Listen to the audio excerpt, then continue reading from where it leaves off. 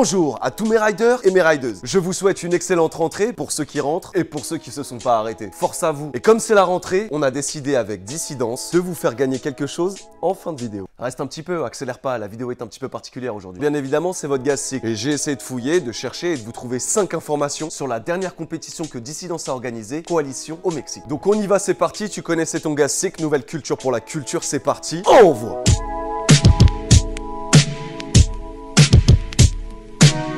Vous n'êtes pas sans savoir qu'après 13 ans d'existence, bientôt 14, Dissidence a organisé près de 15 compétitions internationales, Street Jam, Coalition et DC Scootering confondus. Bien évidemment, c'est sans compter tous les partenariats, les aides, les supports, que ce soit pour les championnats du monde, les Street Jam locales, les contests, et j'en passe, car chaque année, Dissidence contribue à des compétitions. Et merci, Dissidence. Alors, Coalition, qu'est-ce que c'est? C'est une ville, pendant une semaine, avec les meilleurs riders de la planète. Les équipes sont constituées de 5 personnes, 4 riders et un caméraman. On retrouve au total pas moins de 40 riders invités. Les équipes de 5 ont une semaine pour réaliser la meilleure vidéo possible, montage compris. Une fois la semaine achevée, on réunit toutes les vidéos et on juge qui sont les meilleurs.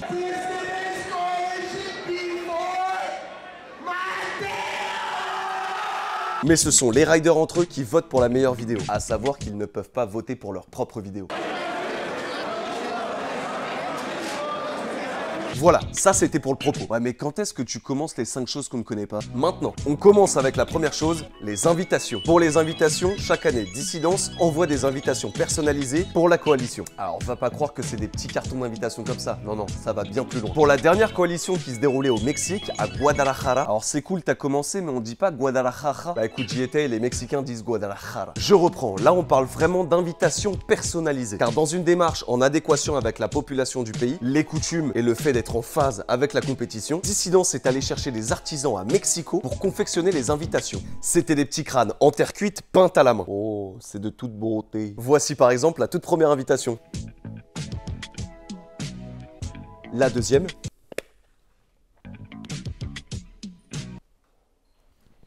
Et la troisième. Bon et du coup, voici pour la quatrième. Elles ont d'ailleurs toutes été faites main, on pouvait en retrouver à peu près 90 en comptant les riders et les marques partenaires. Et quelques amis proches de dissidence par-ci par-là.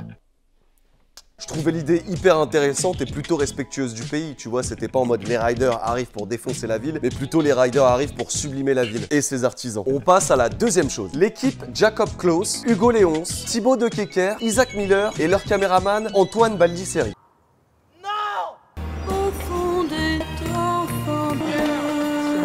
Une team sur le papier hyper solide, mais qui s'est vu réduire au nombre de 1, ou plutôt 2 avec le caméraman, après seulement 2 jours de compétition. Parce que tout bêtement, ils se sont blessés. Hugo Léonce le premier jour, Thibaut de Kekar le deuxième. Vous me direz, oui, mais là, il y a que deux riders blessés. Eh ben écoutez bien, Isaac Miller, lui qui est arrivé en cours de compétition, il s'est blessé aussi le premier jour. Pour lui, enfin, c'était son premier jour à lui, pas, pas le premier jour de la compétition.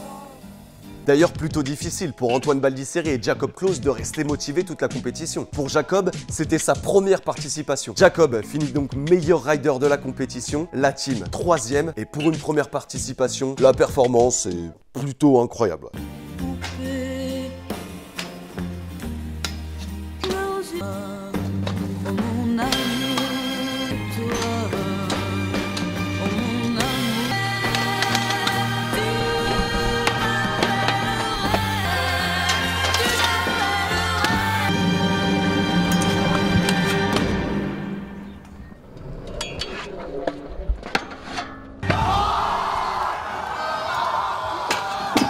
On continue pour la troisième chose. Celui qui participait pour la première fois également à la Dissidence Coalition, c'est Monsieur Ewendos en tant que caméraman.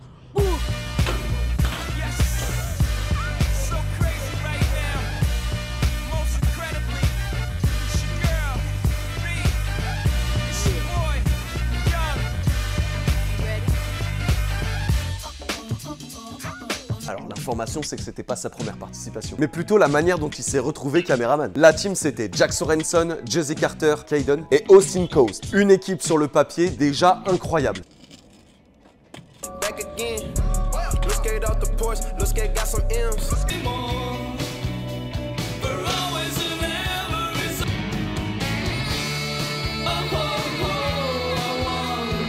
Toutefois, il s'est avéré qu'au début de la compétition, la team de riders déjà constituée n'avait plus de caméraman. Ewen leur a tout bonnement envoyé un DM sur Instagram et a proposé sa participation. Ewendo, c'est quand même le caméraman de KrakenG et d'un tas d'autres vidéos. Pour que tu saisisses, reconstitution de la demande. Excusez-moi, est-ce que je peux venir? Oui.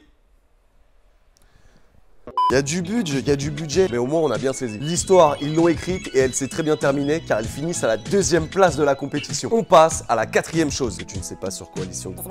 Alors sachez qu'il y avait une team de filles pour la première fois à la Dissidence Coalition. Moi je les ai suivies un petit documentaire va sortir d'ailleurs, bientôt. Bientôt, bientôt. Je vais vous parler plus sérieusement de Joséphine Zortsky, avec en particulier ce trick-là.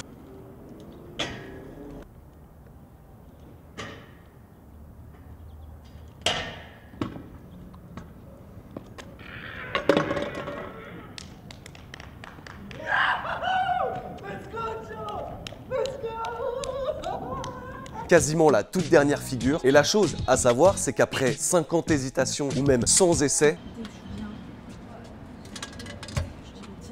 J'ai pas l'habitude de faire F-150 sur les rails ronds. Mais j'ai trop envie de faire cette trick préféré en rail. elle l'a mis du premier coup. C'est l'info. Elle l'a mis first try. Elle l'a mis du premier coup. Big up, Jojo. Non, c'est fort.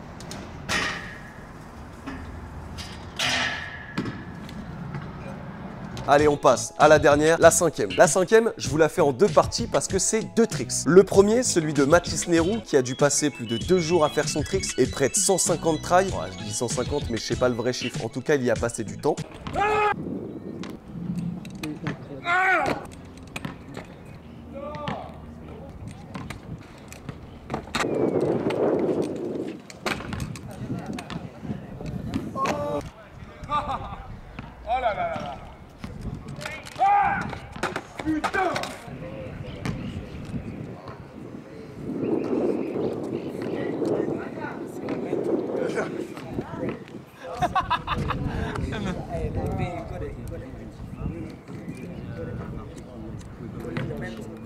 Mathis Nérou, pendant la dissidence coalition, a exécuté un backward to flair.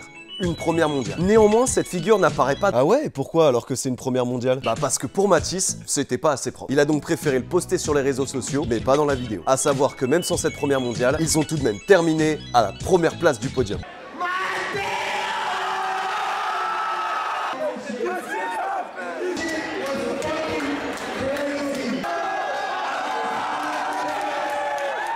La deuxième, c'est Roumet Salik. Et celle-ci, j'aime bien la raconter parce que j'y étais et c'est stylé, quoi. Enfin, le mec est, le mec est fou. Roumet Salik, cette figure,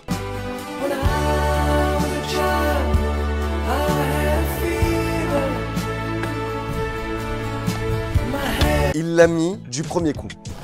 Wait, what? Sérieux? Oui, le mec était torse nu, bob et lunettes Gucci. Gucci, Gucci. Il est allé voir discrètement son caméraman Matteo Mencuccini en lui disant Hey dude, I got a big tricks. Enfin, je vous la fais en roumette salik. Bro, I want to make a big tricks. On va se calmer sur les imitations, tranquille. Il est parti du fin fond du spot en manual et a exécuté son front flip du premier coup. Il a simplement fait tomber ses lunettes au passage et a rendu complètement fou tous les gens autour, moi y compris.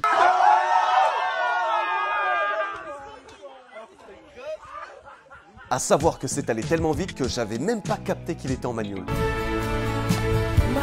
Mais je l'ai quand même vu pour de vrai, je l'ai vu pour de vrai, je vous jure je l'ai vu de mes propres yeux. Tout ça pour dire qu'il l'a mis du premier coup en obtenant le meilleur tricks de la coalition. En même temps, le trick c'est dingue. Bravo Romain. Voilà, c'était les 5 choses que vous ne saviez peut-être pas sur la dissidence coalition au Mexique, en espérant que ça vous ait plu. En tout cas, profitez de la rentrée pour rester motivé. Et moi, comme promis, pour la rentrée, je vous fais gagner un code promo d'une valeur de 50% sur tout le site Dissidence. C'est la maison qui régale. Il n'y en aura qu'un, donc soyez vifs. Et comment on peut appeler ce code? Nouvelle culture pour la culture. On va appeler ce code pour la culture. Tout attaché.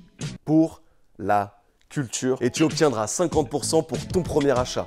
Toi qui obtiendras ce code, tu auras la chance d'avoir moins 50%. C'est comme ça que ça se passe. C'est ton Gassic, c'est Nouvelle Culture, c'est pour la culture. Tu connais déjà la gimmick. C'est...